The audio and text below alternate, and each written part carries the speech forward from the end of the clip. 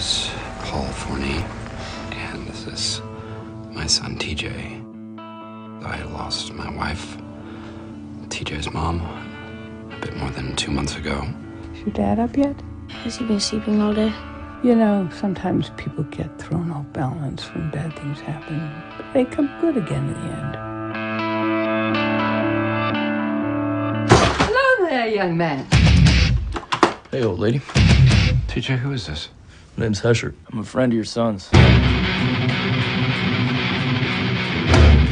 are you doing here? What are you doing here, dude? Hesher, is that a name? Then that mouse will stick my head in the toilet. And just stand there and watch him do it. Get out of my grandma's house. Hey!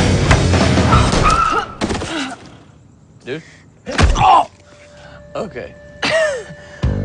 Where you going? I'll give you a ride. Don't talk to me, okay? Sorry about the other night. I was totally out of control and it was foolish and irresponsible. So, sorry. Yeah, I think I can be some help here. She was just sitting there and you backed right into her. I what? Sometimes, you know, a day's bad and you think it couldn't get any worse, and then suddenly you discover whole new ways it can get worse. Dude, you're not shopping. You're stalking that chick. No, I'm not. You seem a little older than TJ. I used to have this snake. I used to have to feed him and give him a live mouse. And there was this one time, this mouse got up on his hind legs and punched him in the face.